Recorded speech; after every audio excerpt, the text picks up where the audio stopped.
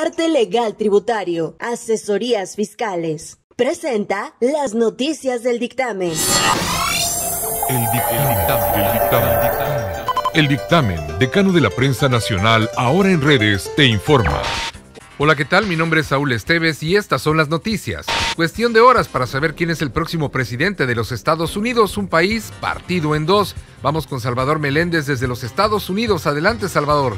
¿Qué tal amigos? Muy buen día. Les saluda Salvador Meléndez desde la ciudad de El Paso, en el estado de Texas, en la Unión Americana. Y la novedad, lo que no se esperaba que un país como los Estados Unidos se mencionara el fraude en unas elecciones. Se paralizaron tres estados, lo que conocen como la caída del sistema, por así llamarlo. En los estados de Pensilvania, Nevada, Georgia, tres de los estados con el eh, colegio electoral más alto que pueden darle la ganancia a ya sea a Joe Biden o al presidente Donald Trump. La gente pues está manifestando en las calles artistas eh, de todos los géneros, hasta periodistas y obviamente el público en general, ya sea a favor del presidente Donald Trump o a favor del ex vicepresidente Joe Biden. La situación está en tres estados que son Pensilvania, Nevada, Georgia, que se espera que este próximo fin de semana pues ya se tengan los resultados. Así está la situación ahorita actualmente acá en los Estados Unidos. Es un gusto saludarlos y pues regreso contigo, Saúl. Y en más información, una corte de Nueva York declara inocente al general Salvador Cienfuegos, mientras que desde la cárcel el ex gobernador de Veracruz, Javier Duarte, dice que está dispuesto a declarar contra Peña Nieto por el caso Odebrecht. El presidente de México enviará una iniciativa para que nadie gane más que él, ya que la vez anterior muchos funcionarios se ampararon. López Obrador gana mensual 108.305 pesos y por lo pronto ya anunció el recorte de aguinaldo a funcionarios y un juez giró una orden de aprehensión contra Rosario Robles por delincuencia organizada. Permanecerá en el penal de Santa Marta, Acatitla. Simón Pedro de León, ex coordinador de delegaciones en Cedesol, también será llamado a declarar. Senado aprueba ley Olimpia para todo México, llamada así por el nombre del activista del Estado de Puebla que inició la lucha a nivel nacional. Esta ley también castiga la violencia mediática. Y el cañón del sumidero se encuentra en el ojo del huracán por la grabación de videos porno, pero antes ya había sido objeto de escándalos como el video que subió Peña Nieto con Julián Álvarez. Sin embargo, el presidente de hoteles de Chiapas dice que el video ayuda a la promoción turística. Cinebox, el cine nos mueve. Presenta las noticias del dictamen. En los espectáculos se cumplen 50 años de la muerte del flaco de oro Agustín Lara. Llevó en las manos el don del piano, en los labios el don del canto y en el alma una capacidad única para dar forma a sus letras, razón por la que era llamado el músico poeta. Y Arad de la Torre compra un iPhone y le mandan una caja vacía. Esto lo denunció a través de su cuenta de Instagram diciendo que es la primera vez que pide algo al Palacio de Hierro por tienda en línea y le llegó la caja vacía y no saben en qué momento compramos problemas.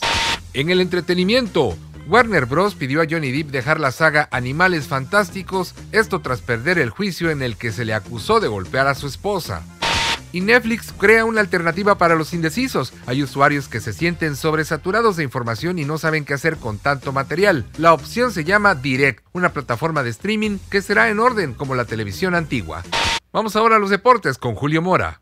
Muchas gracias, Saúl Esteves. Yo soy Julio Mora. Esto es el Dictamen Deportes. Y para cerrar la semana, la situación del club veracruzano de fútbol de Tiburón, que a final de cuentas todo cayó por su propio peso. Y resulta ser que los jugadores dijeron no viajamos o no jugamos contra Durango, porque hay posibilidad hasta hoy. Fíjense, el partido es el día de mañana supuestamente en Durango y no han viajado o no habían viajado. Y otra posibilidad es que jugaran como local por el tema del semáforo rojo en Durango del COVID podrían jugar en Tlapacoyan, pero no es nada confirmado. El tema es de que los jugadores dijeron no nos pagaron, no viajamos, no jugamos. Al mediodía, Carlos Casarín Duarte, el técnico del equipo Tiburón, hasta ese momento emitió un comunicado de prensa que dice lo siguiente. Al Club Veracruzano de Fútbol Tiburón y su presidente Diego Bartolota, mediante este comunicado hago del conocimiento que un servidor, Carlos Casarín, DT del Club Veracruzano de Fútbol Tiburón, ha decidido dar un paso al costado del equipo al no encontrar garantías deportivas y administrativas para el buen desarrollo profesional del trabajo. Asimismo, el cuerpo técnico que me acompaña, Jorge Abuet Malpica y Omar Altamirano, han decidido no seguir las mismas circunstancias. Agradecemos la oportunidad que nos brindó la directiva y el profesionalismo de los jugadores, pues hasta el último momento mostraron un gran compromiso, deseándole el mayor de la suerte y el éxito en el torneo a ambos. Gracias DT Carlos Alberto Casarín Duarte. Esta es la situación de manera oficial. El Chatón Enríquez, lo recuerda usted, exjugador de Chivas, de, jugador de la Selección Nacional Mexicana, emitió su comunicado y dice lo siguiente. El presente comunicado se hace con el fin de informar que desafortunadamente a partir del día de hoy he decidido ya no formar parte y romper todo vínculo con el Club Veracruzano de Fútbol de Tiburón por incumplimiento de contrato. Creo que está claro. Con el primer párrafo nos vamos porque es una carta prácticamente. Y bueno, mi carrera sigue, estoy más fuerte que nunca y estoy seguro que, que lo mejor está por venir. Saludos a toda la afición con cariño. Jorge El Chatón Enríquez.